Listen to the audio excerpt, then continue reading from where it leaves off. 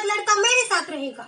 नहीं मेरे साथ रहेगा। वाह रे वाह मटका मेरा दूध मेरा थोड़ी सी दही क्या डालती? पूरा पनीर ही तेरा? क्या?